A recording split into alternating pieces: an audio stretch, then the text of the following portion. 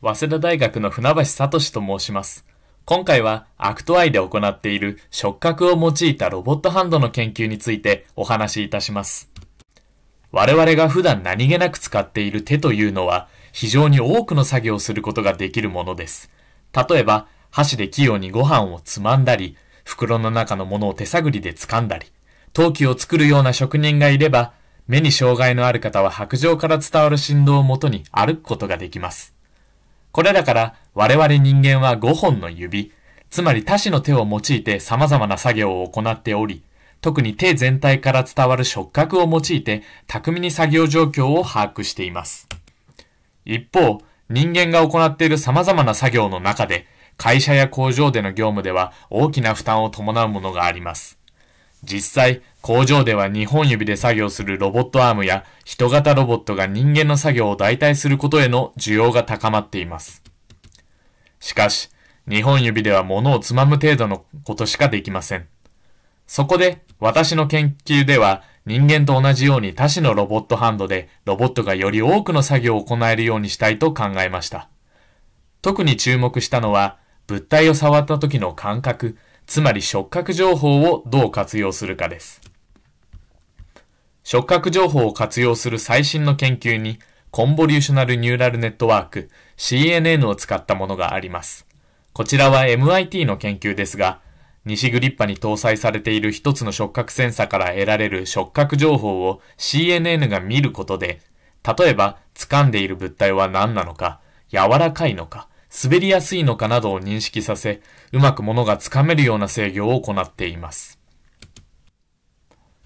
この CNN をタシハンドでも使いたいと思うのですが、そう簡単ではありません。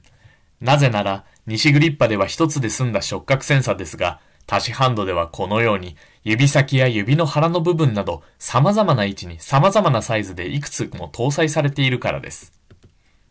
今回の研究では、タシハンドが握っている物体が何なのかを高精度で認識することを実験対象として、この問題にアプローチしました。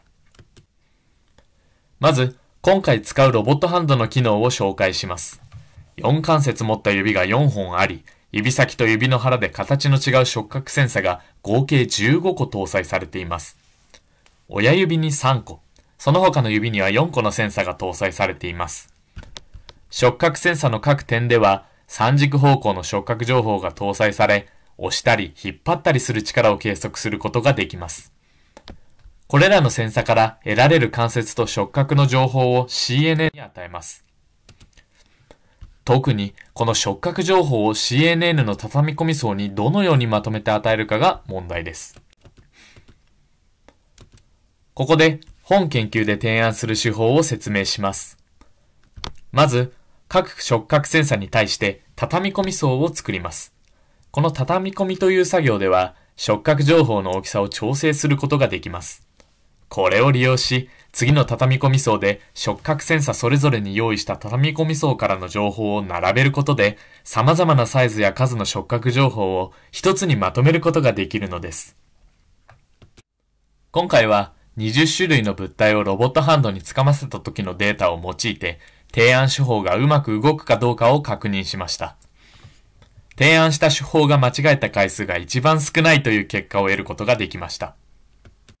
また、各手法が物体のどこを見ているのかなどの解析を行い、センサ全体を考慮して組み合わせるという提案手法により、CNN が複雑に接触する物体をより正しく認識する可能性を示唆しました。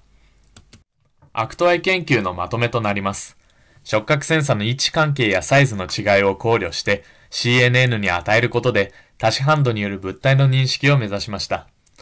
結果として、提案手法が高い認識精度を発揮し、それぞれの物体に対する認識結果への影響を示唆しました。将来的には、今回のような研究をもとに、工場で活躍するロボットをはじめ、介護や接客、災害現場などでロボットが活躍する社会を目指します。本研究の今後の展望としては、加速フェーズにおいて物体の認識だけでなく、操りを行うことも目指します。ご清聴ありがとうございました。ありがとうございました。